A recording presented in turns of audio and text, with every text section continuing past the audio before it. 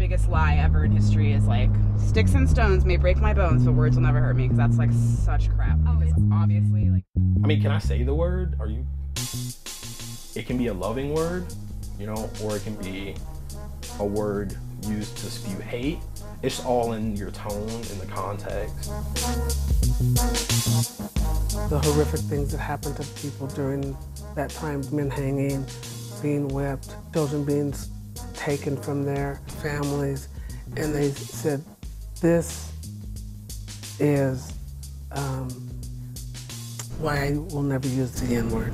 hip hop pushes boundaries um, and made sure that folks had a voice in some way. But now I don't think that's the case anymore. artists have different they have a huge fan base so by you saying that you're giving acceptance to other people when once that the pain of the word hits you, that that word meant something totally different than what we're using today.